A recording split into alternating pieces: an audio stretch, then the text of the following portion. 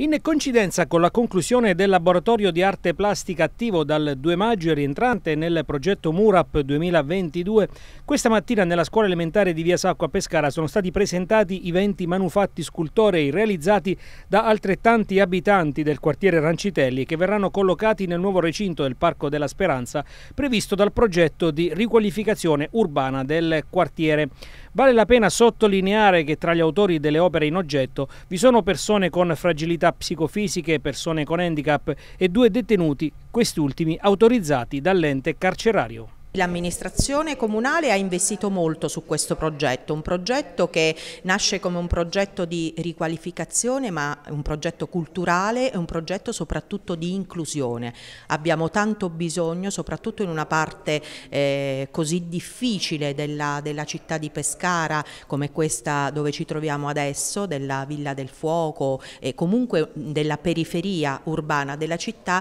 poter portare avanti un progetto di coinvolgimento dei ragazzi ragazzi, dei detenuti, di tutti coloro che nella zona hanno voluto partecipare a questo progetto è veramente importante, ci dà molta soddisfazione e ci riconosce un lavoro che eh, stiamo portando avanti con, um, con, tanta passione e veramente con, um, con tanta soddisfazione. Tra i nostri progetti, eh, questo è uno dei più importanti, quello del MURAP, che tende appunto a valorizzare, riqualificare le periferie attraverso la cultura e attraverso l'arte. Eh, fondazione Aria è una fondazione costituita da imprenditori intellettuali che si sono messi insieme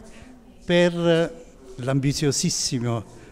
compito di eh, migliorare la vita anche attraverso la bellezza. Questo è stato con, in sinergia con eh, l'architetto Sonsini nell'ambito del progetto, abbiamo individuato dei ragazzi eh, che avevano diciamo, delle problematiche e pertanto inclusi in questa opera eh, di, ehm, di, cultura che va a evidenziare un aspetto culturale e, e, pertanto abbiamo iniziato a interfacciarci con questi ragazzi e ad avere integrazione sociale. Su questo dobbiamo puntare nell'ambito della regione Abruzzo e eh, è fondamentale l'intervento degli adulti per far sì che qualsiasi tipo di problematica che si attraversa anche a livello adolescenziale vi sia il recupero di questi ragazzi.